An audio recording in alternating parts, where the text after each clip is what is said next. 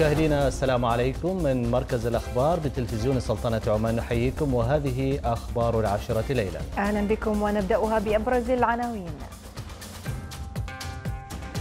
السلطنة تؤكد التزامها بقرار منظمة أوبك المتعلق بتقليل حجم مستوى تخفيض الإنتاج النفطي. ما زالت ملتزمة طبعا بقرار خفض الإنتاج ولكن كان في نوع من التوجه إلى تخفيض مستوى الخفض. الحكومة البريطانية تعلن عن خطط تفصيلية للخروج من مظلة الاتحاد الأوروبي تزامنا مع وصول الرئيس الأمريكي. المعارضة السورية توافق على تسليم محافظة درعا التي انطلقت منها شرارة الحرب الأهلية عام 2011 إلى الحكومة السورية. ترامب يصف بوتين بالمنافس ويؤكد أن التخلص من الأسلحة النووية هو أفضل اتفاق قد يتوصل إليه. وفي أخبار الاقتصاد تتابعون. منتدى فرص الأعمال يستعرض فرص الاستثمارات في الحوض الجاف بالدقم والمقدرة بأكثر من 100 مليون دولار. وتتابعون في الأخبار الرياضية. كرواتيا تفاجئ الجميع وتلتحق بفرنسا في نهائي كأس العالم روسيا 2018 يوم الأحد القادم.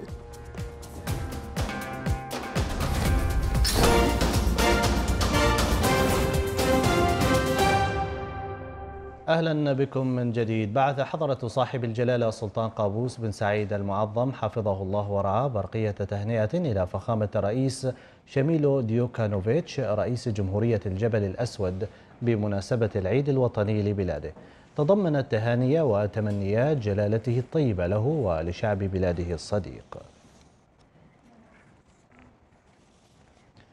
السلطنة ملتزمة بقرار منظمة أوبك المتعلق بخفض الإنتاج النفطي وهناك توجه للتقليل من مستوى الخفض.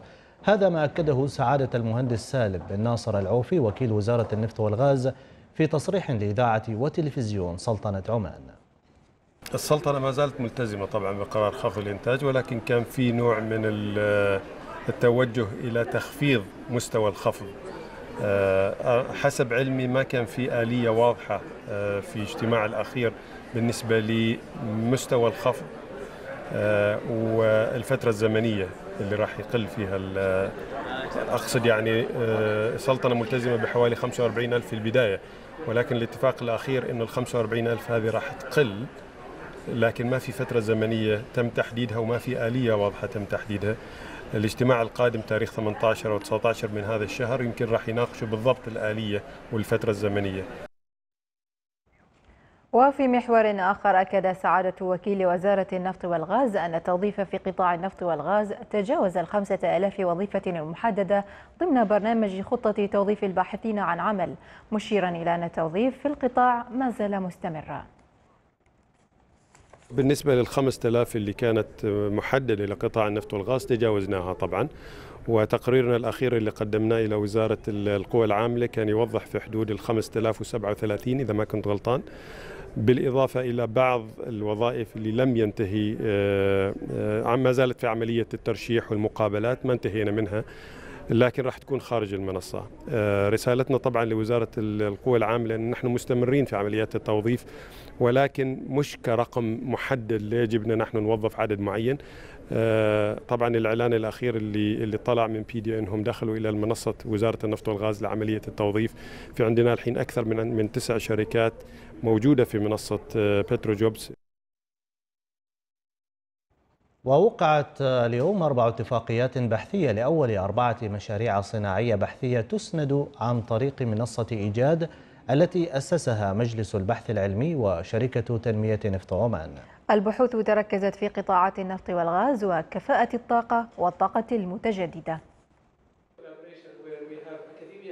اجتماع موسع لرؤساء تنفيذيين من المؤسسات البحثية والأكاديمية وجه إلى تخطي التحديات التي تحول دون ترجمة البحوث العلمية إلى مشاريع اقتصادية. عقب الاجتماع التوقيع على أربع اتفاقيات بحثية لأول أربعة مشاريع صناعية تسند عن طريق منصة إيجاد. تم توقيع على أربع مذكرات تفاهم ما بين شركة تنمية نفط عمان وجامعة سلطان قابوس آه، لعمل أربع بحوث, بحوث مختلفة آه، تخص ببعض التحديات اللي تمر بها الشركة سواء كان في مجال البوليمر أو الكهرباء أو المياه المصاحبة وما شابه. طبعا أهمية هذه البحوث هي رفع آه، ما تقدمه للمراكز البحث العلمية المحلية من خلال تقديم بحوث علمية لحل بعض المشاكل اللي تواجهها شركات النفط والغاز. العقود البحثية الموقعة بين أطراف منصة إيجاد وجامعة السلطان قابوس وشركة تنمية نفط عمان تمثلت في مشروع تطوير الوقود الحيوي واستخدامه كمورد طاقة نظيف ومشروع آخر لدراسة تحديد المسافة المناسبة الفاصلة بين خطوط الجهد العالي وأنابيب النفط إضافة إلى مشروع متعلق بتطوير البوليمر لجدوى اقتصادية لأغراض الاستخلاص المعزز للنفط. هذه المنصة آه، آه، مهمة جدا لأنها تهدف إلى تكامل الجهود آه، شركات النفط المختلفة تقوم طبعا بتدوين جميع التحديات التي تواجهها وعلى المؤسسات مؤسسات التعليم العالي أنه يدخلوا على هذه المنصة أنهم هم يرفعوا طبعا مقترحات من أجل حل هذه التحديات. أي بحث علمي؟ هو يكون جديد غير موجود حاليا. تعالج مشكلة ما في شركة تنمية النفط عمان أو الشركات البترول والغاز الموجودة في السلطنة. فهذا البحوث لها دور فعال في تنمية وفي حلول إيجاد حلول وربما بعد الحلول يكون لها تنشأ مصانع لهذا لهذا الحلول في المستقبل. الأوساط الأكاديمية والبحثية تنظر إلى ربط الأبحاث بالاحتياجات الصناعية في السلطنة مع اقتراب العمل برؤية عمان 2040 هذه البحوث العلمية التي ستترجم إلى مشاريع صناعية هو توجه تعمل عليه الدولة منذ فترات. في الوقت الذي حققت فيه السلطنة تقدما بثمانية مراتب في مؤشر الابتكار العالمي. فارس بن جمعة الوهيبي مسقط. سير الدراسة والتدريب بالمعهد العالي للقضاء وسبل تطويرها بما يتواكب مع أحدث المستجدات التشريعية والقضائية في السلطنة كانت أهم نقاشات اجتماع مجلس إدارة المعهد العالي للقضاء. وأقر المجلس مشروع ميزانية المعهد للعام القادم 2019 وبحث آليات التعاون مع المعاهد والمؤسسات العلمية والتدريبية المحلية والدولية بما يكفل الاستفادة من التجارب المماثلة. تحقيقا لأهداف المعهد المتمثلة في إعداد كوادر تتسم بالمهنية والكفاءة في المجالين القضائي والقانوني. كما استعرض الاجتماع مجموعة من تقارير البرامج التدريبية المنفذة. ترأس الاجتماع معالي الشيخ عبد الملك بن عبد الله الخليلي وزير العدل رئيس مجلس إدارة المعهد العالي للقضاء.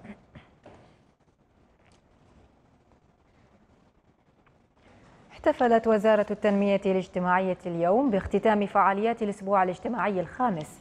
الأسبوع هدف لتفعيل دور المجالس العامة في شتى المجالات الدينية والاجتماعية والثقافية والتربوية. رعى الحفل معالي الشيخ محمد بن سعيد الكلباني وزير التنمية الاجتماعية.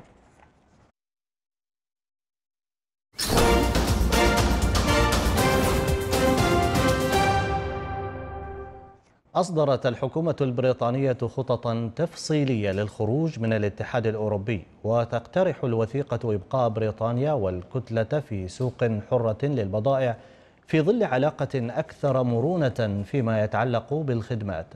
رئيسة وزراء بريطانيا تيريزا ماي أكدت أن الخطط سترضي البريطانيين الذين صوتوا لصالح استقلال بلادهم عن التكتل كما ستراعي عدم تعثر الشركات والأجهزة الأمنية والقطاعات الأخرى التي تتشابك بشكل وثيق مع الاتحاد الأوروبي.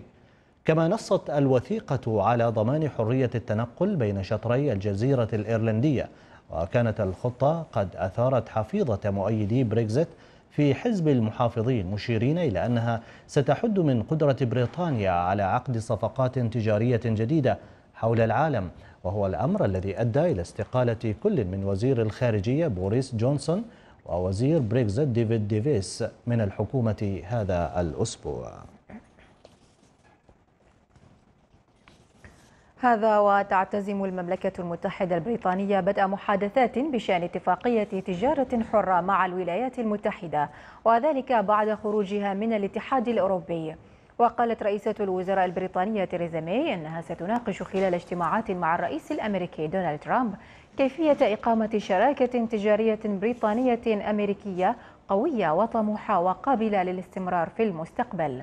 ماي أوضحت أنه ليس هناك تحالف أقوى من علاقة بلادها الخاصة مع الولايات المتحدة التي بدأ رئيسها دونالد ترامب زيارة للعاصمة البريطانية لندن. هي الأولى منذ توليه السلطة. مؤكدة أنه لن يكون هناك تحالف أكثر أهمية في السنوات المقبلة من التحالف مع الولايات المتحدة.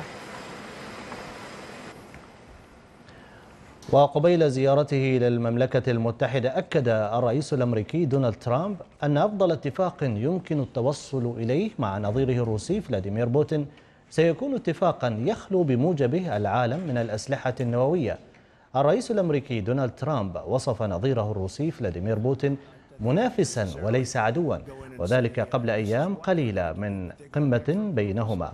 وخلال مؤتمر صحفي بعد قمة لحلف شمال الأطلسي في بروكسل أوضح الرئيس ترامب أنه يأمل أن تصبح روسيا صديقا جيدا للولايات المتحدة موضحا أنه سيناقش مع بوتين الحرب في سوريا والنزاع في أوكرانيا والاتهامات بالتدخل الروسي في الانتخابات الأمريكية عام 2016 إضافة إلى التدريبات العسكرية لحلف شمال الأطلسي قرب الحدود الروسية في بحر البلطيق والتي تعتبرها روسيا استفزازية.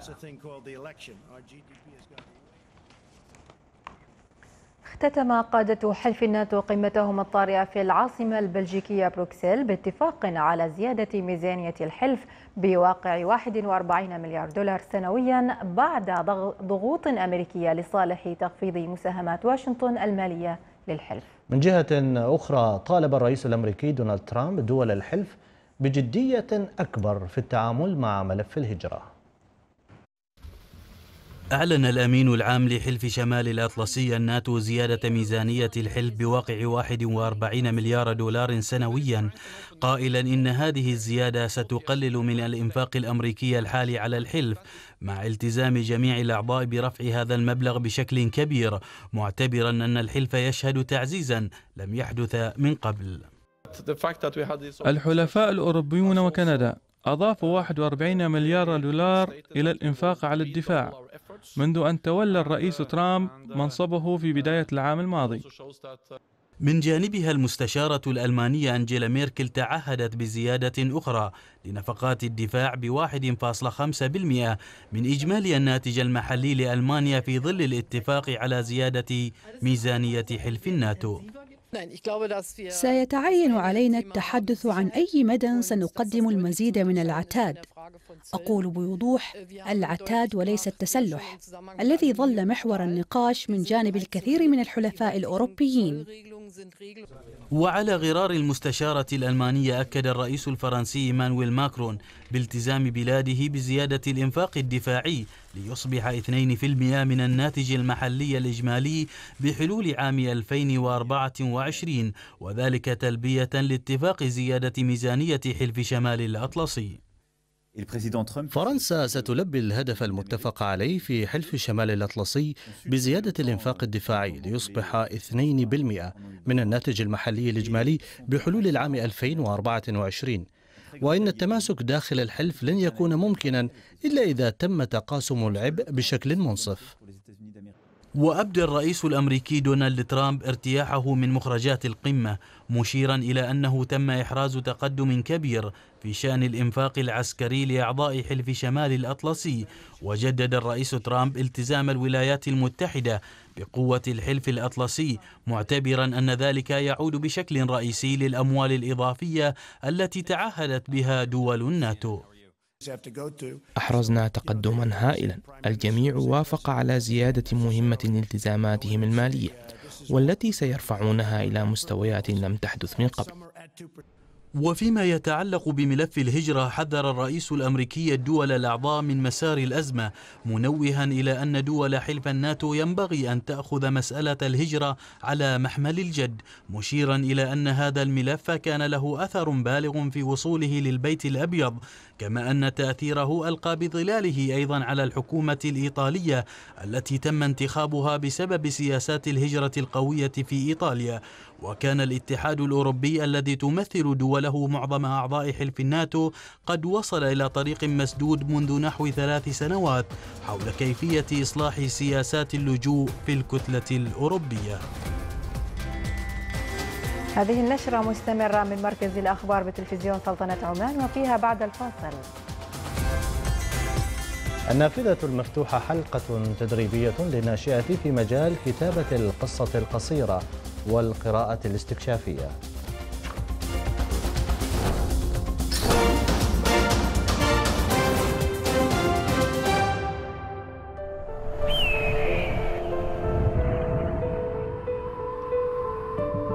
عبق فاح بين جنباتها. فنفثت سلاما برائحة لبانها.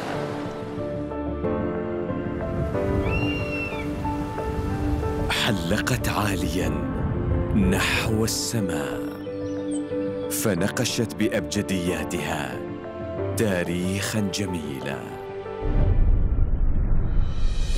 وبكرمها أمست مضربا للأمثال.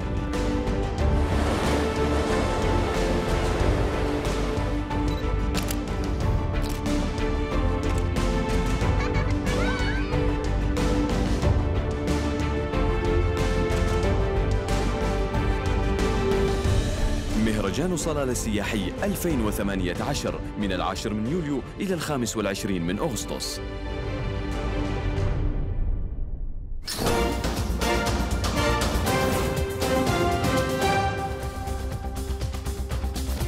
السلطنة تؤكد التزامها بقرار منظمة أوبك المتعلق بتقليل حجم مستوى تخفيض الإنتاج النفطي. السلطنة ما زالت ملتزمة طبعا بقرار خفض الإنتاج ولكن كان في نوع من التوجه إلى تخفيض مستوى الخفض. الحكومة البريطانية تعلن عن خطط تفصيلية للخروج من مظلة الاتحاد الأوروبي مع وصول الرئيس الأمريكي للندن. المعارضة السورية توافق على تسليم محافظة درعا التي انطلقت منها شرارة الحرب الأهلية عام 2011 إلى الحكومة السورية. ترامب يصف بوتين بالمنافس ويؤكد أن التخلص من الأسلحة النووية هو أفضل اتفاق قد يتوصلان إليه.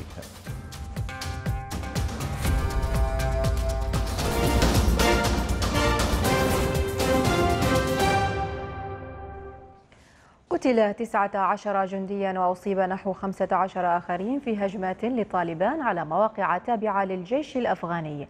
وقالت مصادر عسكرية أن مسلحي طالبان حاولوا اجتياح نقاط تفتيش تابعة للجيش الأفغاني في ولاية قندوز شمال أفغانستان. وولاية فاراغ غربي أفغانستان ما أدى إلى اشتباكات بين الجانبين وسقوط عدد من القتلى والجرحى. مضيفة أن ستة من مقاتلي طالبان قتلوا ودمرت مركبات مسلحة تابعة لهم أثناء الاشتباكات.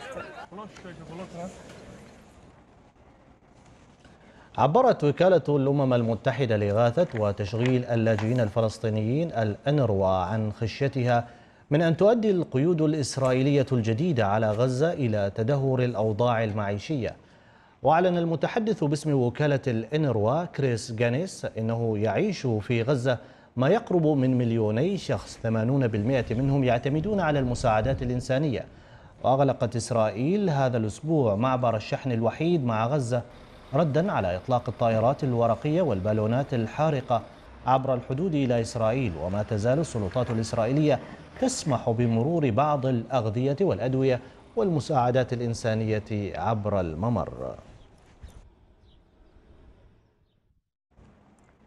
أكد مستشار المرشد الأعلى الإيراني على ولاية وقوف روسيا مع إيران في وجه العقوبات الاقتصادية الأمريكية. تصريحات ولاية جاءت بعد لقائه بالرئيس الروسي فلاديمير بوتين حيث عبر بوتين عن رفضه لقرار الولايات المتحدة مجددا في الوقت نفسه دفاع موسكو عن حقوق طهران الاقتصادية. وتسعى الولايات المتحدة بحسب مسؤوليها إلى فرض عقوبات اقتصادية على إيران تشمل صادراته النفطية. كما قال الكرملين إن بوتين وولايته ناقشا أيضا الوضع في سوريا مؤكدا بأن الجانبين توافقا على تهدئة العنف في بعض المناطق.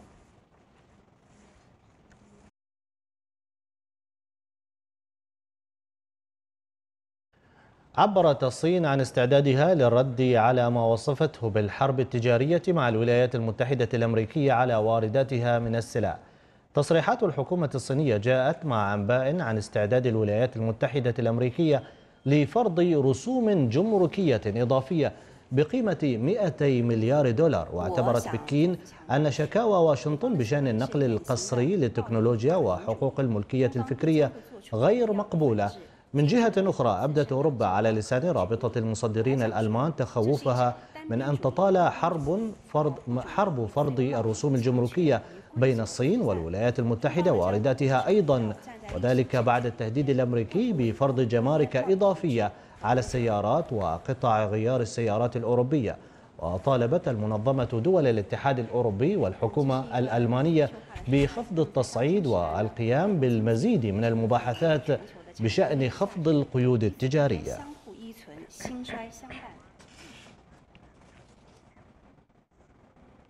في الداخل السوري استعادت الحكومة السيطرة على نحو 80% من محافظة درعا التي انطلقت منها شرارة الحرب الأهلية. وأكدت وكالة الأنباء السورية أن المعارضة السورية وافقت على تسليم أسلحتها بحسب اتفاق بين الطرفين من ناحية أخرى تصدت دفاعات جوية سورية للصواريخ التي أطلقتها طائرات إسرائيلية قرب هضبة الجولان المحتلة حسب ما ذكرت مصادر إعلامية سورية.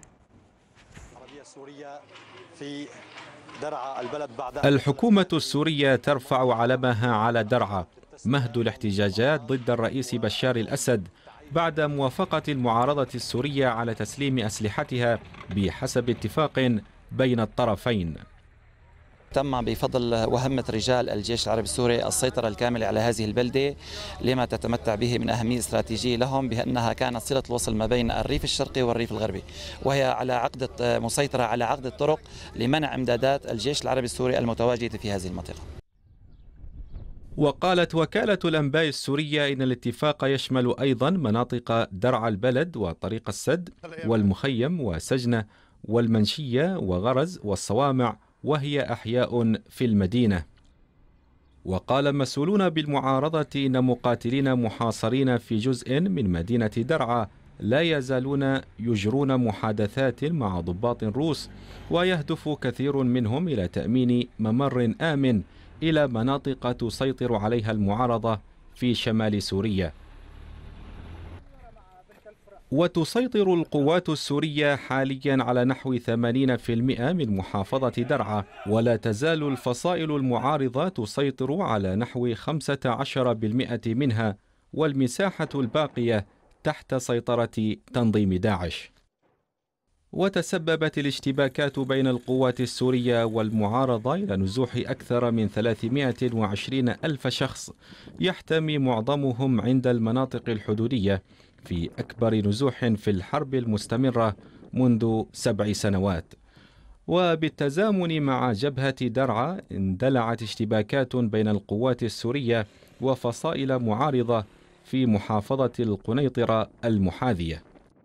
دخل عليه الجيش العربي السوري الحمد لله وطرد الإرهابية من هالبلد هربوا إلى الغرب إنهم مشي على الأردن وشي راح إسرائيل وإحنا يوم دخل الجيش السوري العربي السوري صرنا بأمان وبحرية. إحنا بأمان والله يخلينا الجيش السوري والله يوفقه بس بدنا مية بدنا أكل بدنا شرب. وقال المرصد السوري إن الاشتباكات توقفت بعد الضربات الصاروخية الإسرائيلية. التي استهدفت مواقع للقوات السورية في المنطقة فيما أفادت مصادر إعلامية سورية عن تصدي الدفاعات الجوية السورية للصواريخ التي أطلقتها الطائرات الإسرائيلية جنوب غرب سوريا قرب هضبة الجولان المحتلة. نتحول الآن إلى الأخبار الاقتصادية مع الشعثاء البريكيه.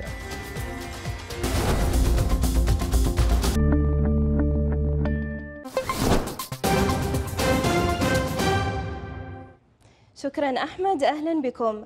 أكثر من 100 مليون دولار قيمة الاستثمارات التي استعرضتها شركة عمان للحوض الجاف خلال منتدى فرص الأعمال بولاية الدقم.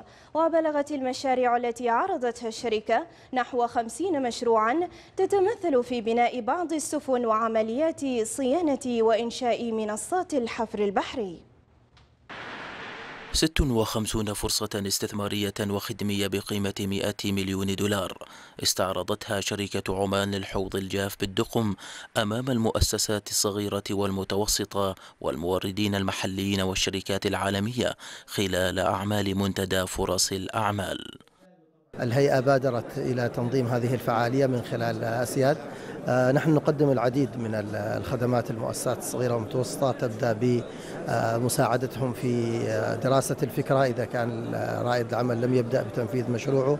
آه، ثم ذلك مساعدتهم في إعداد دراسة الجدوى الاقتصادية للتأكد من مدى نجاح إمكانية نجاح هذا المشروع. بعد ذلك إذا كان رائد العمل يحتاج إلى دعم تمويلي يتم توجيهه إلى الفرص المتوفرة لطلب التمويل لمشروعه وتشارك حوالي 300 مؤسسة صغيرة ومتوسطة في المنتدى للتنافس على الفرص الاستثمارية في مجالات عمليات بناء السفن وعمليات صيانة وإنشاء منصات الحفر والإنتاج البحري وبناء بعض الهياكل البحرية ومساندة حقول النفط من ناحية الإنشاءات وتصنيع الأنابيب داخل الحوض. نقدر مجموع إجمالي الفرص هذه بأكثر من 100 مليون دولار. آه، الفرص هذه تتنوع بين عقود وبين فرص الاستثمار الفردي أو فرص الاستثمار المشترك مع الحوض أو فرص طبعا لأن الشركة هذه تأخذ بعض الأعمال اللي الحوض يقوم فيه الحال الآن ويقوم بها بدل الحوض مثل عملية المواصلات مثل آه، آه، إدارة مرافق الشركة مثل مرافق السكن وغيرها. المنتدى أتاح لنا فرصة للتعرف على عدة شركات صاعدة في عدة مجالات كما أننا مستعدون آه، لبحث سبل التعاون مع شركة عمان للحوض الجاف. في مجالات توريد الأصباغ للسفن وكذلك لمواد البناء والديكور بالإضافة إلى الدعاية والإعلان. وشهد المنتدى توقيع تسع مذكرات تفاهم بين شركة عمان للحوض الجاف والمؤسسات الصغيرة والمتوسطة هدفت إلى وضع الإطار العام لأوجه التعاون المستقبلي. وسوف تعلن هيئة المنطقة الاقتصادية الخاصة بالدقم عن خارطة لأبرز الفرص الاستثمارية المتاحة في جميع محافظات السلطنة. ما الذي يحافظ على أساسات منزلك ويزيد عمره الافتراضي لسنوات عديدة؟ ما الذي يحقق أحلامك ويبني مستقبلك؟ ما الذي تثق به لحماية عالمك مدى الحياة؟ هناك اسم واحد في عمان هو الذي يوفر للمباني القوة والمرونة والثقة في تحملها للهزات الأرضية. وأنت أيضا يمكنك أن تجعله أساسا لبناء منزلك. حديد بانتر من جندال شديد. حديد ذو جودة عالمية.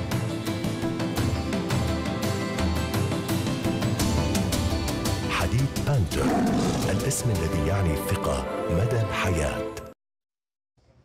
حالة ترقب وحذر لدى المستثمرين في ظل إعلان الشركات عن نتائجها للنصف الأول من هذا العام والتي جاءت دون توقعات المستثمرين إضافة إلى استمرار تراجعات أسواق المال الخارجية حيث سجل مؤشر سوق مسقط للأوراق المالية تراجعا أسبوعيا ليتراجع إلى ما دون مستوى الخمسة ألاف وأربعمائة نقطة.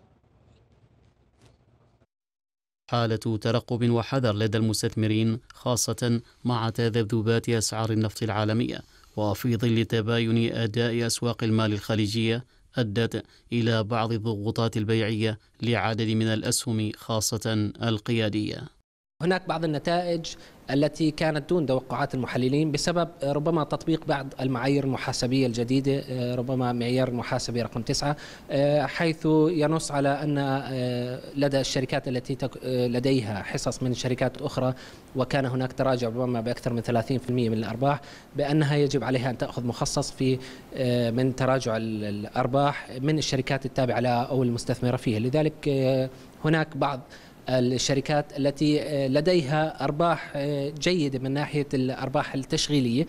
مؤشر سوق مسقط واصل فقد مزيد من النقاط ليتراجع إلى ما دون مستوى آلاف وخمسمائة نقطة.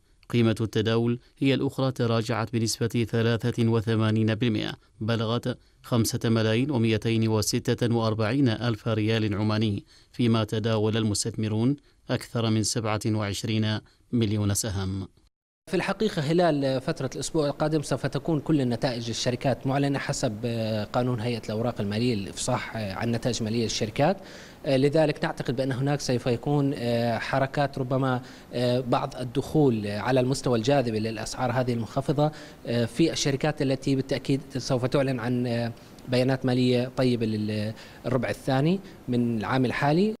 أسواق المال العالمية هي الأخرى تشهد تباينا في مؤشراتها وذلك بسبب تصعيد التصريحات بفرض رسوم جمركية جديدة بين الصين والولايات المتحدة الأمريكية. أما أسواق المال الخليجية هي الأخرى لم تكن أفضل حالا وذلك بسبب تراجعات أسعار النفط العالمية حيث انخفضت أسواق السعودية ودبي والكويت وقطر وأبو ظبي والبحرين. مع غياب المحفزات ومع غياب الأخبار التي يمكن أن تحفز المستثمرين والمتداولين. لا زال سوق مسقط يواجه ضعف كبير خاصة في حجم السيولة النقدية. إضافة إلى ذلك نتائج الشركات والتي جاءت دون توقعات المستثمرين والمحللين. سعود بن سعيد المعولي مسقط.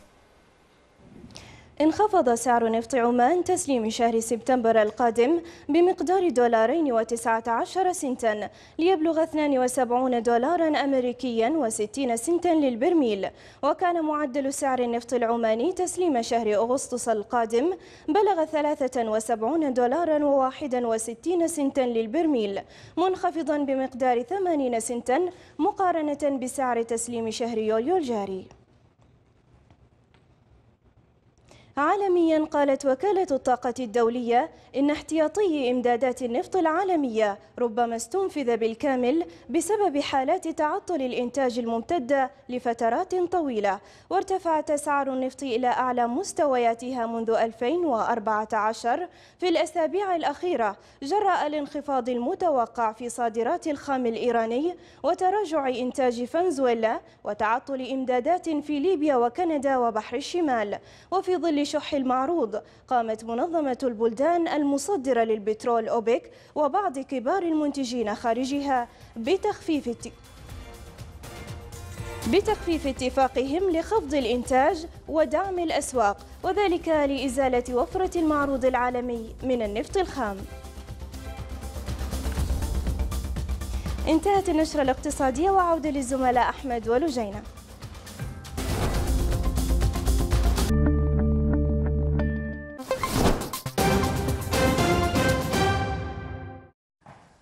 النافذة المفتوحة حلقة تدريبية للناشئة في التمرس على كتابة القصة القصيرة. الحلقة والتي نظمها النادي الثقافي تسعى إلى تحفيز الناشئين على القراءة الاستكشافية في مجال القصة وإكسابهم تحليل القصة.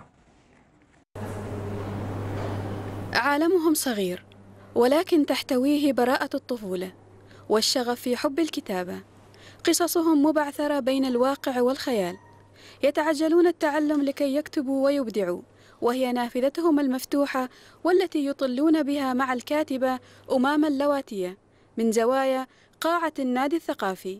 هدف أنه يعني الطفل يحفز نفسه على القراءة أكثر يقرأ أكثر ويمارس الكتابة بشكل أكثر روتيني بحيث يتعود عفوا مش بشكل روتيني وإنما يمارسها بشكل أكثر حتى يحسن من قدراته في الكتابة. التحقت بالدورة بسبب أني لما أكبر أصير صحفي وحاب أني أطور من قدراتي. كان عندي قبل قصص قصيرة شاركت في الدورة عشان أنمي موهبتي وأريد أن أكون صحفي. هنا يقصون ما كتبوا ويصححون فيما أخطأوا ويطورون من مهاراتهم الكتابية من خلال الورشة التدريبية والمخصصة للناشئة في كتابة القصة القصيرة. هذا النادي كان واجد مفيد وثلاث أيام هذه واجد ساعدتني. وحلو إنه يعني يستغلوا أيام الصيف إنه يساعدونا إنه نتطور في كتابتنا. كان يتصدق على الناس بعد الله كل مرة يكافئ يوم أول شيء المتاهة الله خلى يعني هناك قبل أن يدخلها الله كافئ لأنه هو عطى رجال قطعة خبز فقير. أستاذة أمامة ساعدتنا واجد كيف نكتب القصص الخيالية والقصص من الأطفال وتعلمنا واجد من خبرتها. كنت أحب القراءة من يوم كنت صغيرة. زين وخليت قراري للكتب لأني كنت وايد أحب القراءة فخليت فكل ما قريت شيء كان يخليني أحب نفسي أكثر. ففي أحد واحدة من الكتب اسمها مقهى أندروميدا خلاني أعرف إيش أريد أكون في المستقبل. تعويد الكتاب الصغار على القراءة الاستكشافية في مجال القصة وإثارة فضولهم للتعرف على مضامين وأهداف كل قصة. لتتشكل بالتالي لديهم الرغبة في تحليل القصص وإكسابهم أدوات الكتابة الصحيحة. خديجة بنت سليمان الشحية مسقط. وننتقل بكم مشاهدينا إلى الأخبار الرياضية مع منزول الحسنية.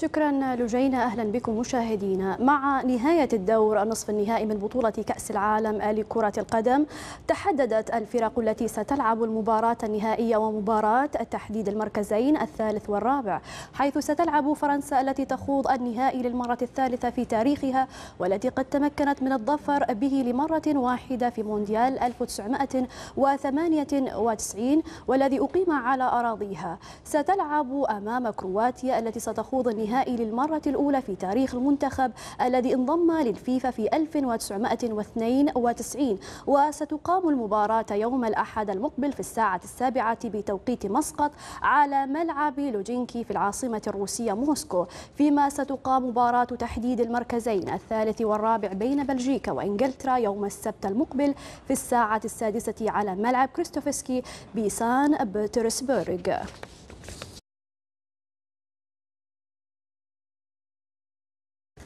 عقد اجتماع مجلس وزراء كرواتيا بحضور أعضاء المجلس وهم يرتدون قمصان المنتخب الكرواتي وذلك احتفالا بنصر منتخب بلادهم في نصف نهائي كأس العالم أمام نظيره الإنجليزي. وانتصرت كرواتيا على إنجلترا بهدفين لهدف وحيد لتواجه فرنسا في نهائي الاحتفالية الكروية يوم الأحد القادم. يذكر أن وصول المنتخب الكرواتي إلى النهائي هو أهم.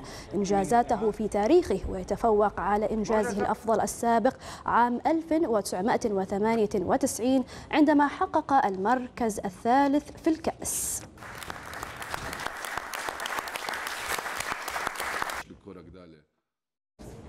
شهدت النسخة الحادية والعشرين من بطولة كأس العالم لكرة القدم المقامة في روسيا مفاجآت بالجملة حيث خرجت أغلب المنتخبات المرشحة لنيل اللقب العالمي في دور الستة عشر ودور الثمانية لينجح منتخبي فرنسا وكرواتيا في الصعود للمباراة النهائية.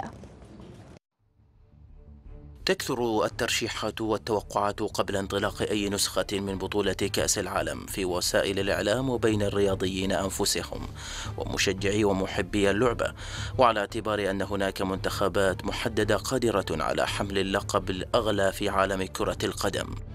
وحملت النسخة الحالية من بطولة كأس العالم في روسيا مفاجآت بالجملة بعد انقضاء دور المجموعات ودور الستة عشر من المسابقة إذ شهد العالم أجمع كيف خرجت ألمانيا حاملة اللقب في مونديال 2014 والمرشحة بقوة إلى الاحتفاظ بالكأس الأغلى.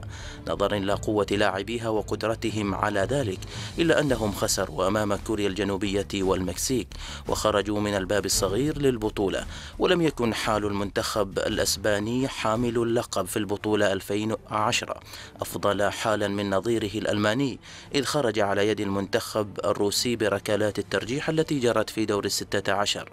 ما جعل الجميع يعتبرها المفاجأة الكبرى التي حدثت في روسيا 2018 أما منتخبا الأرجنتين والبرتغال بطل أوروبا فلم يكونا أفضل حالا من سابقيهما رغم كثافة النجوم بهما وعلى رأسهما سيدا اللعبة في العالم القائدان رونالدو وليونيل ميسي اللذان لم يستطيعا أن يعبرا بمنتخبي بلديهما بعد خسارتهما أمام الأورغواي وفرنسا.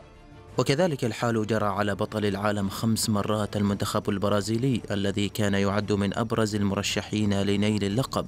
لكنه ادعى من دور الثمانية أمام المنتخب البلجيكي بهدفين لهدف. وتواصلت مفاجآت كأس العالم بعد أن وصلت كرواتيا للمباراة النهائية لكأس العالم للمرة الأولى في تاريخها على حساب المنتخب الإنجليزي الذي كان يطمح لاستعادة أمجاده. مفاجآت بالجملة حدثت في كأس العالم بروسيا ما جعل بعض النقاد والمحللين من وصفها بالبطولة الأبرز على مدار التاريخ. فهل ستواصل كرواتيا مشوار مفاجآت النسخة الحادية والعشرين من كأس العالم أم للديوك الفرنسية رأي آخر؟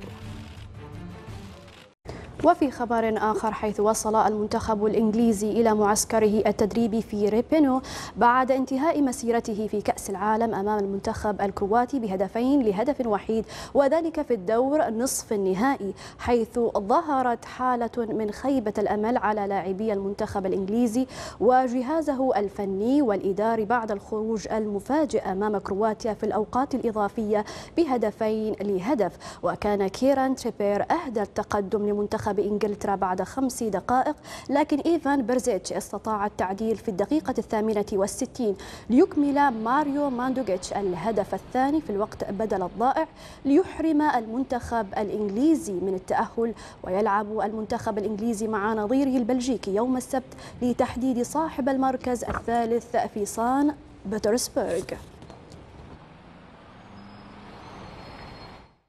دافع رئيس طاقم الدراسة الفني للاتحاد الدولي لكرة القدم كارلوس ألبرتو باريرا وأعضاء آخرون من اللجنة عن نظام حكم الفيديو المساعد بشدة في مؤتمر صحفي عقد اليوم في ملعب لوجنيكي في موسكو. كما أشاد ماركو فان باستين أحد أعضاء الطاقم بتأهل منتخب كرواتيا ووصوله للنهائي.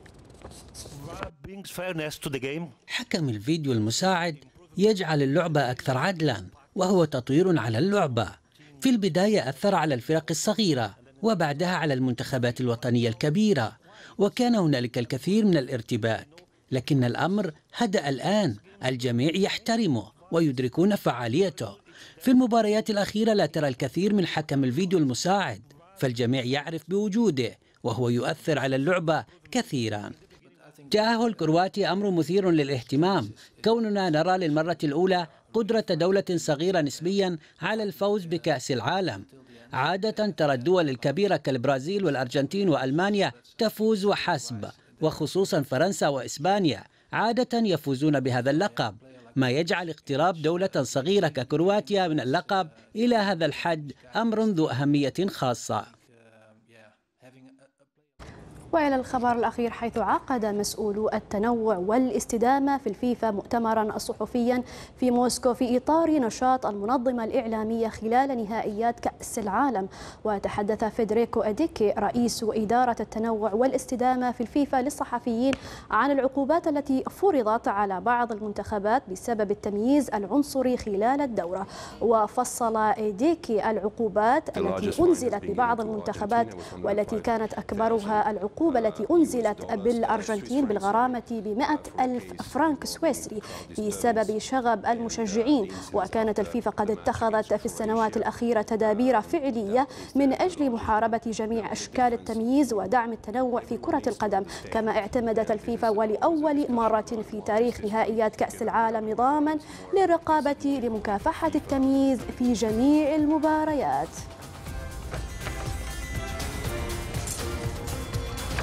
إذا مشاهدينا وصلنا بكم إلى نهاية الأخبار الرياضية. شكرا لكم على حسن وطيب المتابعة. والآن عودة إلى الزملاء.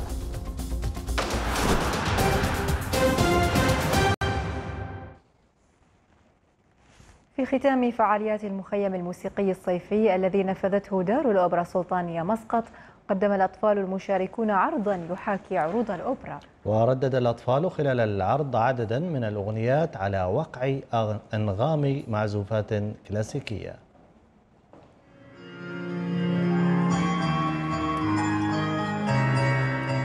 يوم كبير كما يراه هؤلاء الأطفال بعيونهم الصغيرة وخيالاتهم البريئة. ولسان حالهم يقول أمي شاهديني وأنا أفعل ذلك. أبي اسمعني كيف أردد هذه الأغنية.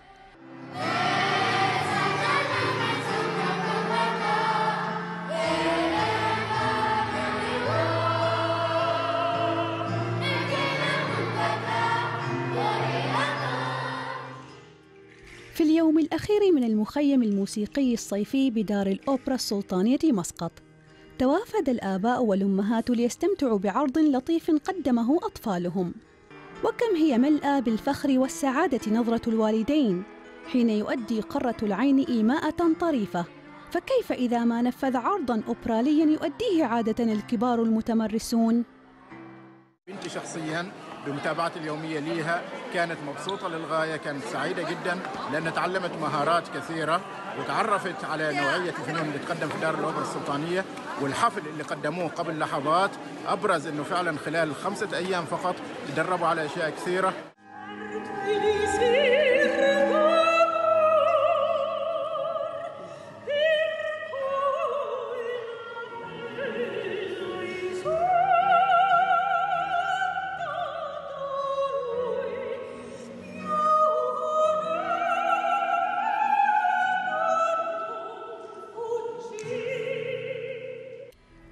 أسبوعا حافلا بالمتعة والسعادة ممزوجا بالمعرفة المبسطة.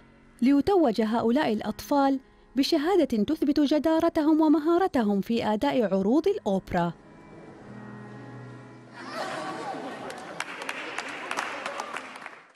كالسحر والخيال مرت الدقائق حينما ظهر أطفال المخيم الموسيقي الصيفي أمام الجمهور بكل جرأة وشغف.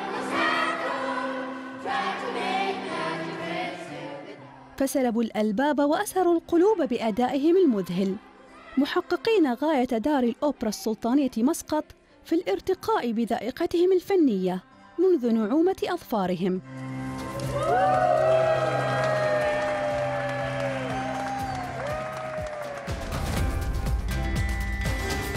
وفي الختام نذكر بالعناوين. السلطنة تؤكد التزامها بقرار منظمة أوبك المتعلق بتقليل حجم مستوى تخفيض الإنتاج النفطي. السلطنة ما زالت ملتزمة طبعا بقرار خفض الإنتاج ولكن كان في نوع من التوجه إلى تخفيض مستوى الخفض. الحكومة البريطانية تعلن عن خطط تفصيلية للخروج من مظلة الاتحاد الأوروبي مع وصول الرئيس الأمريكي للندن. المعارضة السورية توافق على تسليم محافظة درعا التي انطلقت منها شرارة الحرب الأهلية عام 2011 إلى الحكومة السورية. وترامب يصف بوتين بالمنافس ويؤكد أن التخلص من الأسلحة النووية هو أفضل اتفاق قد يتوصلان إليه. وصلنا إلى ختام نشرتنا. هذه تحية فريق العمل في مركز الأخبار. إلى اللقاء.